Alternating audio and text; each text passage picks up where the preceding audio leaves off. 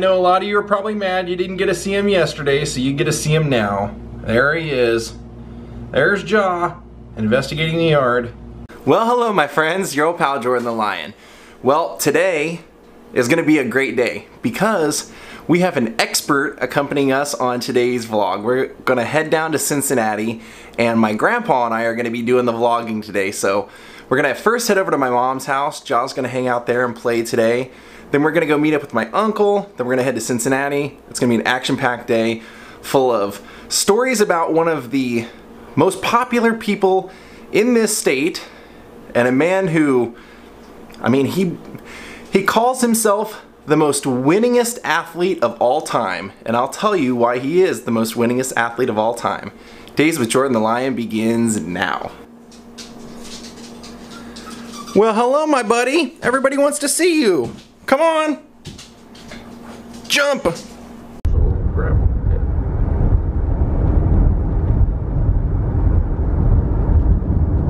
There are the cornfields. This time of the year, you can get some great sweet corn. They're usually selling it all over the place. You see signs off to the side of the road.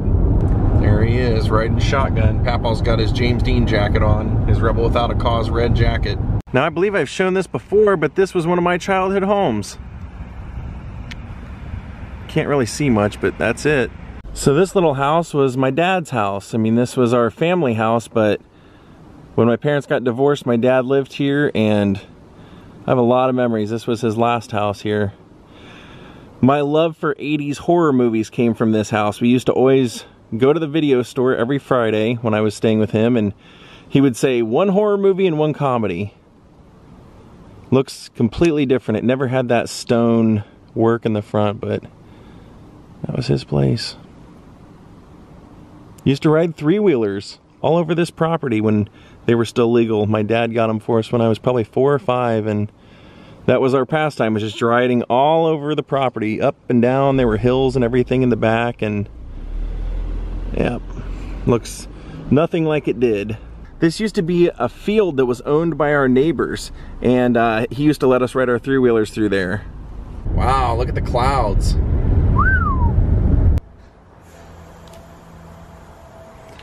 I was gonna say, I think it's safe to say when he starts scratching at the ground, what's gonna happen. Rolling around in the leaves.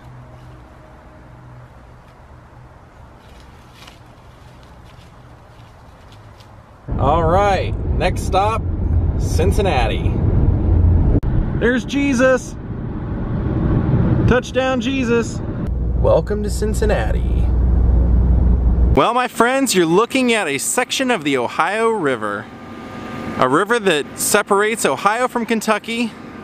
And at one point where we're at now was called Anderson Ferry. And Anderson Ferry, unless you wanted to go five miles down the street to cross, this is how you got your car from Ohio over to Kentucky. Now, in the 1940s, there was a young man who was here taking and collecting the money, and that's how he'd make a little bit of cash as a young boy. That man's name was Pete Rose. And Pete Rose became one of the greatest baseball players in the history of the game. And yet today, many of us may know he is still not in the Baseball Hall of Fame. Now Pete Rose's dad is credited by Pete and everyone that's ever saw Pete play as being the man who really made Pete who he was. He drilled into his head that you were to put in 100% you were to do everything as hard as you could, as determined as you could, and you were to play as hard as you could, and if you didn't, you shouldn't be out there. In fact, he would always tell Pete, what you do is a reflection of me. So if you don't hustle when you're out there, if you don't take it seriously, you're embarrassing me. And Pete said, that was a good father. That's the way you were supposed to be, he said, because he did it the right way. He made me want to be a better player. He made me want to do more. And because of that, Pete Rose, who was not the best uh, athlete of his day, although he did play every single sport because his dad played every sport. His dad was actually a, uh, they didn't, Cincinnati didn't have a pro football team at the time, but he played semi-pro football, he played basketball, he was a boxer at one time, he played baseball. He was just an all-around sportsman, and he had that fall over onto his son. And Pete would say, my dad was a great athlete, but he said, I think my baseball talents came from my mom's side. and that's actually how Pete ended up becoming a Cincinnati Red and a professional baseball player. So we're gonna head over and I'm gonna show you Pete Rose's boyhood home, the family home that he, his mother, and his three other siblings grew up in. It's still there, and I'm gonna tell you a few more stories out there. Now Pete's history was basically, for the most part, right here on River Road. So here in this house was Pete Rose and his family's family home. Now Pete's brother said in our neighborhood, your grandpa owned the house, then he gave it to his son, and then he gave it to his son, and that's the way they all went. And Pete's father, when he was in Little League, he was friends with Don Zimmer's father, and Don Zimmer was the professional athlete here. Before Pete was playing in the majors, Don Zimmer had been drafted and was playing, well, he was a backup for the Dodgers. So Pete said he and his dad would go to all the games at Crosley Field for the Reds, and his dad would impress upon him how important it was to hustle and play hard, and Pete did that. So once he started showing a little bit of talent, his dad went out and uh, he said one of the funny things was he only saw his parents have one argument. He said, and it was he was supposed to, his dad was supposed to buy his sister Carol some new shoes, and when he came home, he had boxing gloves for Pete and said, It's summertime, she doesn't need shoes. This boy's got to learn how to defend himself. And so his sister would say, they would, uh, every night after dinner, they would go out back behind this house and they would play baseball. And she said, Dad would sit and watch, and he would always tell Pete what he did wrong. There was, if there was anything that he could improve, he would always tell him, you know, you got to do this, you got to change this, and his dad knew what he was talking about. He was, like I said, four sport athlete and he actually played professional, well, semi-professional football over the age of 40. And they said even then he was one of the best out on the field. So Pete's dad worked with him throughout his youth and once he graduated, they said he didn't really get scouted for baseball, but Pete's uncle was a scout for the Reds and he got Pete a tryout Pete made the team, went to the minor leagues, and then had two great seasons. And when they finally decided to call him up and he walked in the clubhouse, the manager said, Who are you? And he said, I'm your new second baseman. And the other players said, You know, we loved Don Blasingame, who was our second baseman then, so there was no way Pete was going to win this job. But he came out there, and this guy, who they nicknamed Charlie Hustle, just outworked everybody. They said he would get walked and he would go full speed to first base. And Pete said, my dad told me to do that. He said, quicker you get to first, the quicker you get to second, which means that quicker you'll get to third and the quicker you score. And that basically became Pete's entire philosophy for playing was win at all costs. And because of that, Pete also would worry or at least focus on most of his stats. He wanted to break records. And he said, as long as I'm breaking records, we're going to win. As long as I'm getting hits, we're going to score runs. And so Pete's goal then became I want to be the first singles hitter to make a million bucks. And he did.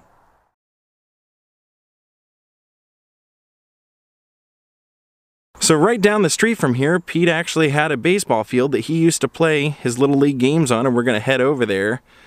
We'll talk a little bit more, but I wanted to start here because, man, the guy is, I mean, when I was a kid, Cincinnati Reds baseball was like almost like, I would almost say it was the most important thing as far as entertainment in our family's household. And when I heard the name Cincinnati Reds, I just thought of Pete Rose because he was our manager, he was our player manager.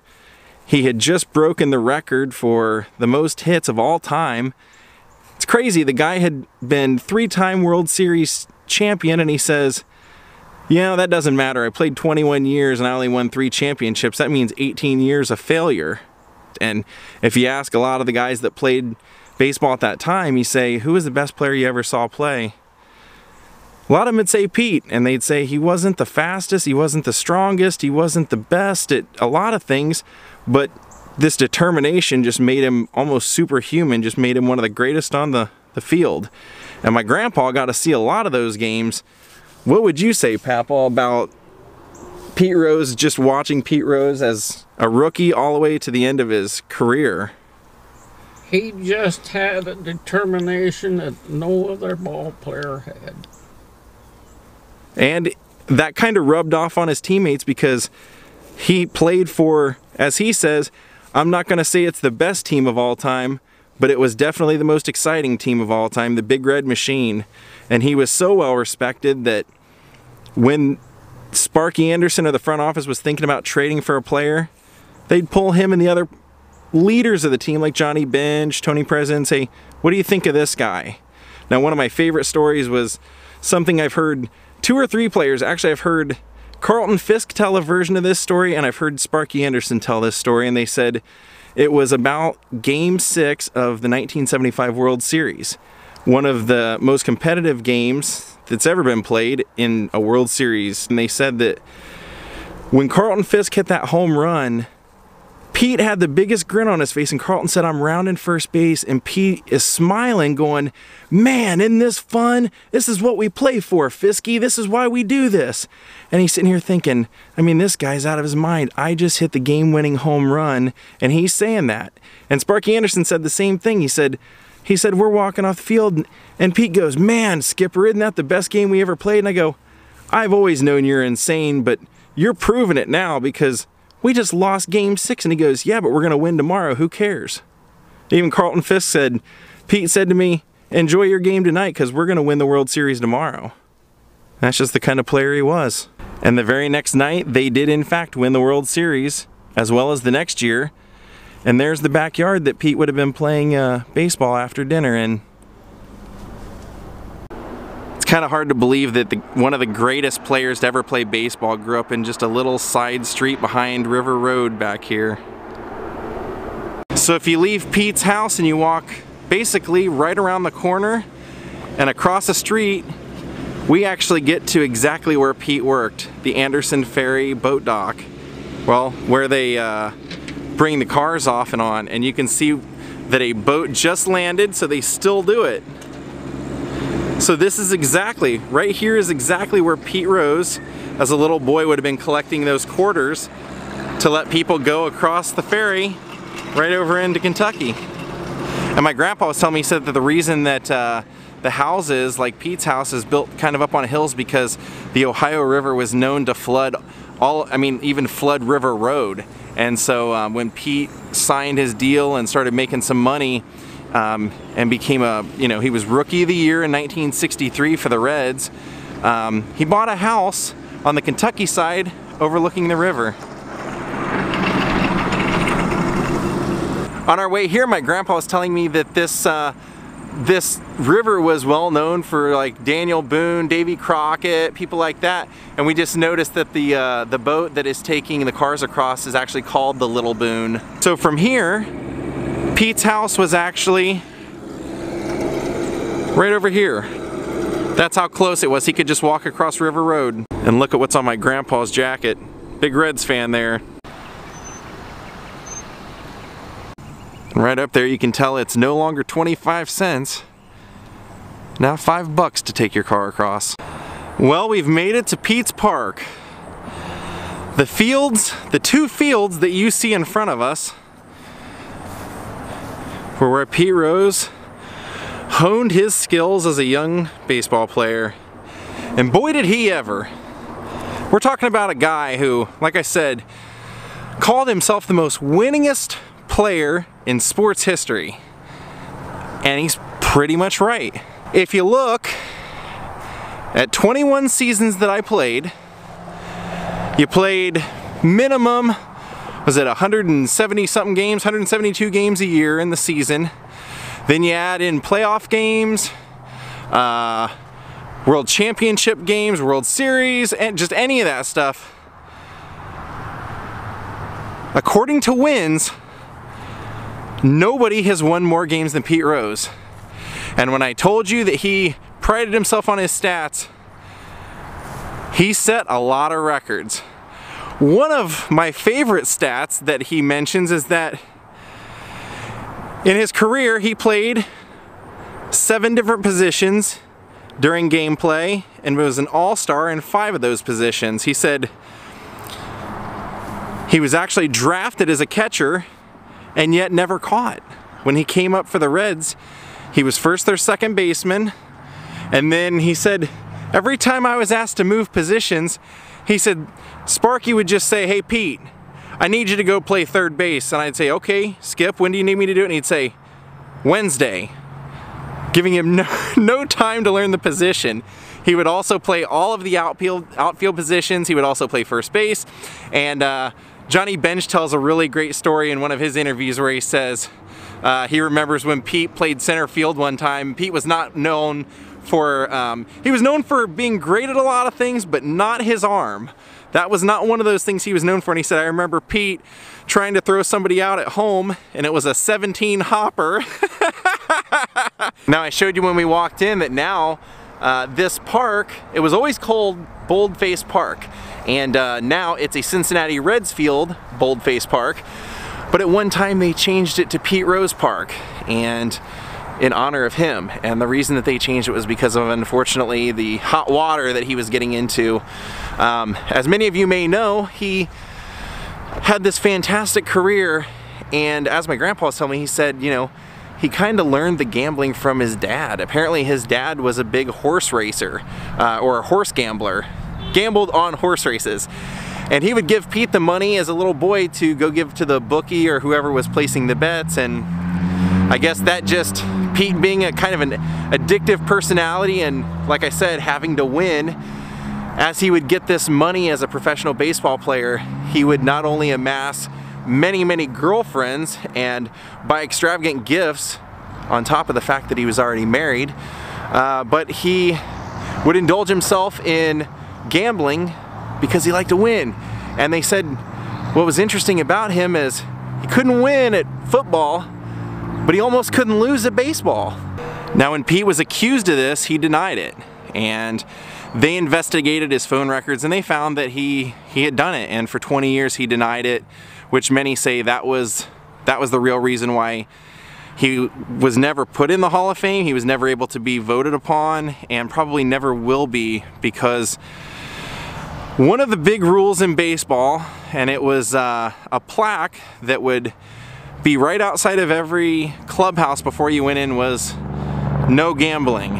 And so many of the players that are Hall of Famers now they feel that Pete has besmirched the game and that um, he's brought shame to it and they don't want him in there. And then you have other players that say, you can't have a baseball hall of fame without the greatest hitter of all time. I fall into that category. I say, for me, what he did on the field is, you can't take that away. And to have a baseball hall of fame without a guy who hit, you know, broke a record that was set at 41.91. That's unbelievable. Now I'm going to read off some of Pete's accomplishments and I'm going to let you think about what you think. Do you think this man deserved to be in the Baseball Hall of Fame? A hall that honors the greatest players of the game?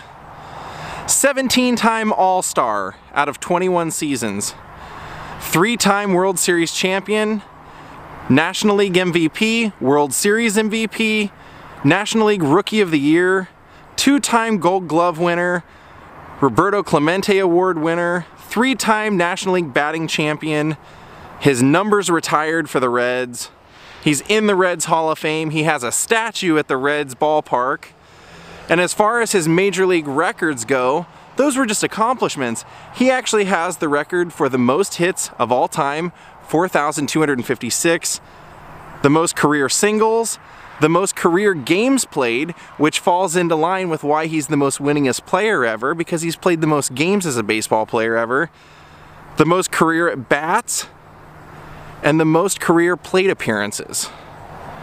That means, as a leadoff hitter, he was getting on so much that he was getting up to bat at least four or five times a game. Now Pete would say without a great team, he wouldn't have been a great player. He would have been a hard hustler, but it takes a great team and he had a great team. And most of those guys now are memorialized with statues over at Great American Ballpark and we're gonna go see those now. One of the great stories though is they have captured Pete in one of his most classic poses. Pete was known for going headfirst into home plate, winning at all costs, like I said. And one of the most famous instances of that was during an All-Star game. One of his friends was actually the catcher for the American League while Pete was on the National League. Pete's rounding third base, coming in home, it's a close play, and Pete completely barrels over his friend, dislocating his shoulder. After the game, Pete's wife said, what is the matter with you? He's our friend. How could you do that? It's an all-star game. Pete said, that's right. It's an all-star game. You think I don't want to win that? You think the people that paid to come see this didn't come to see a great game? No, he said, that's what baseball is about. It's about winning. If you're blocking the plate and you don't have the ball and I'm coming after you, that's trouble.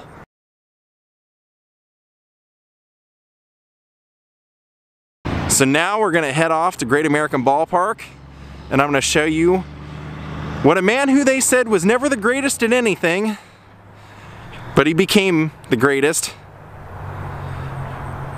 where that work ethic leads you to.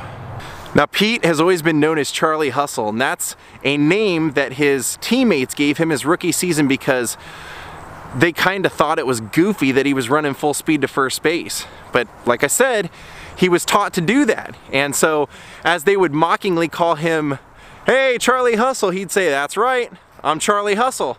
He was proud of that name. And he said one time I was playing a game and he said my dad came to all the games. He said, and my dad watched every single thing I did. So I didn't want to embarrass him. And he said, I remember one time four at bats in the game. He said I didn't get anything to hit, and uh, one of the times I was kind of mad at myself for for not swinging at the one good pitch that came down the pike and I'm running down to first base and didn't think much of it. He said, and after the game I walk out to my car and my dad's standing out there and he said, I thought, oh my God, something must have happened to my mom or something, something must be wrong. And he said, my dad's standing out there and he says, let me ask you something. That second at bat in the fourth inning, when you were running to first base, did you run as hard as you could? Pete said, I thought about it for a second. I said, no, no, I didn't. He said, how you play the game is a reflection on me. This is my city. Don't ever embarrass me again. And he said, I knew what he meant. And he said, Dad looked at me and said, now see you tomorrow. And he walked away. And Pete said, I always thought of that. And when Pete broke the record, hitting 4,192 hits, he said, he looked up in the sky and he saw his dad's face. His dad had passed away in 1970 and Pete broke the record in 1985. And he said, I saw my dad's face and I started crying. And little Pete came out and hugged him and said, my dad, my life, I'd never seen him show emotion. I'd never seen him cry. And he also really never hugged me. And he said, after that, every time he saw me, he hugged me.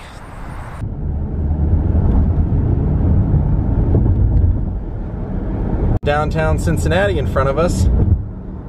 Kind of makes you think of WKRP, doesn't it? Don't worry, I'll vlog that on the next trip, maybe. Well, here we are. Great American Ballpark and the Cincinnati Reds Hall of Fame. Well, my friends, welcome to Cincinnati Baseball. This is not the park that Pete Rose played in. Pete Rose originally played in a place called Crosley Field, which is no longer there, and then he played at Riverfront Stadium, which is also no longer there. But he was inducted into the Hall of Fame here. Now you can see right in front of us is one of his teammates from the Big Red Machine, Tony Perez. And then right over here in the most classic of all poses is the great one, Pete Rose.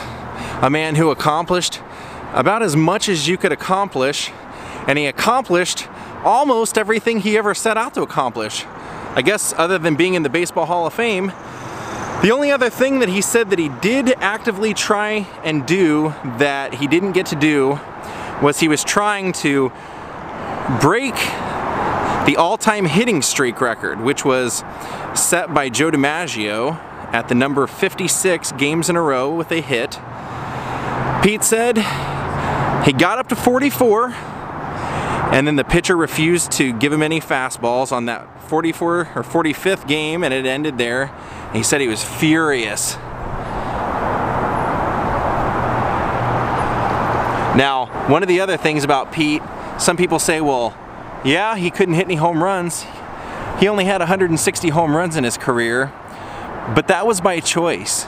He was taught to be a singles hitter. He was taught to be the man to get on base.